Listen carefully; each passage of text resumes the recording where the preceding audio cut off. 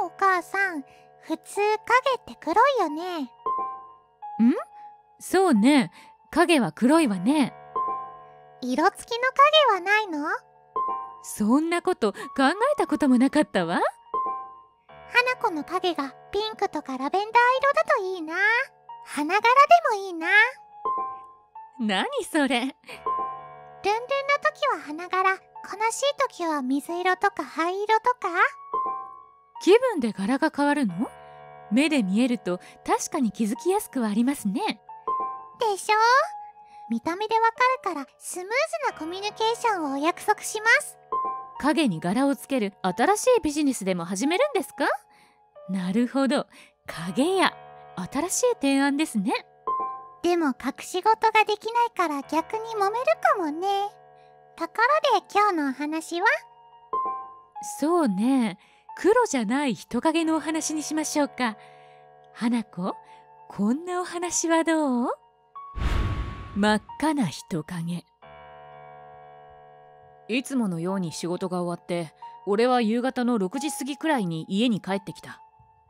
居間に入るとそこでおふくろが部屋の電気もつけずに耳を塞いで暗い部屋の中でうずくまっていたんだちょっとおふくろどうしたの？電気もつけないであなんだアキラか。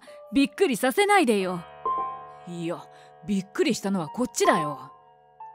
っていうかアキラお前どこから家に上がってきたの？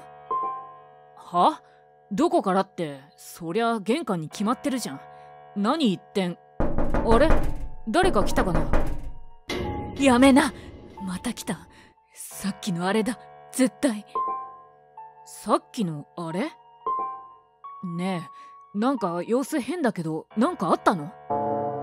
あれがねずっと玄関をノックしてるの。あんたが帰ってくる少し前から。お母さんそれが怖くて怖くて。だからずっと耳塞いであれがいなくなるの待ってたんだけど。そしたらあんたが帰ってきたのよ玄関から。あれって何？見たんでしょ？おふくろは顔を歪め思い出したくもないって様子だった。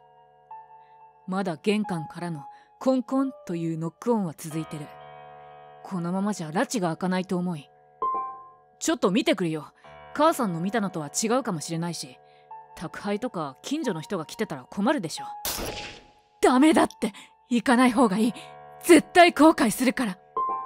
大丈夫。ヤバそうだったら玄関開けたりしないし見てくるだけだから。俺は腕を振り払って玄関に向かった。玄関の戸は曇りガラスが貼ってある引き戸だから外の様子はある程度わかる。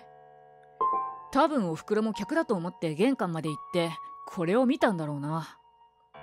玄関の外に立つのは赤い人影だった。だけどパッと見違和感というか変なものって感じはしなかった。小学生くらいの人の形のシルエット。もっとよく見ようと思って引き戸に近づいたらノックする手がガラス越しによく見えたんだ。真っ赤な手だった。本当に真っ赤。しかも素手。あこれは人じゃないな。そう気づいた時はもう遅かった。向こうにも俺が近づいてることを気づかれてしまったんだ。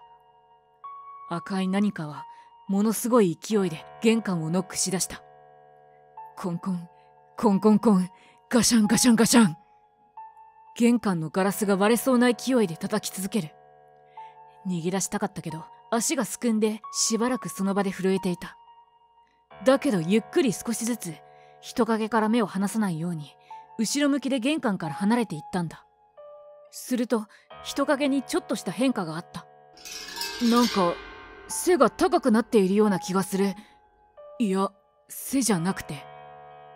ノックをする手の位置は最初と変わらないんだ。赤いシルエットの頭だけが上に伸びているのだ。首が伸びてるとかじゃない。本当に頭だけが上に向かって伸びていってるような感じ。頭は徐々に玄関の上にある小窓に近づいていってる。この小窓は明かりを入れるための窓。普通の透明なガラスだ。俺は奴の頭から目を離せなかった。そして見てしまった。真っ赤な奴の顔を。だらりと開けられた真っ黒な口とカッと見開かれた目。髪と眉はなかった。奴はギョロギョロと家の中を見ていた。俺は居間に逃げ込んでおふくろと一緒に耳塞いでガタガタ震えてた。どれだけの間二人でうずくまってたかわからないけどいきなり「おいどうした？親父かよ。びっくりした。びっくりしたのはこっちだ。二人とも電気もつけずに何してたんだ？真っ暗だぞ。え親父どこから中に入ってきた？おふくろと同じことを聞いた俺だった。赤い影はいなくなっていた。その後ネットで似た話を見かけたけど全国的に流行ってるのかな。はい？おしまい。得体の知れない存在の訪問は恐ろしいですね。もし玄関を開けたらどうなっていたのでしょう。主人公やお父さんが玄関から家に入るときは一体どこにいたのでしょうね。控えめにどこかに避けていたのでしょうか。それにしても頭だけ伸びるなんて。もしかしたら何とかの実を食べた能力者かもしれませんよ。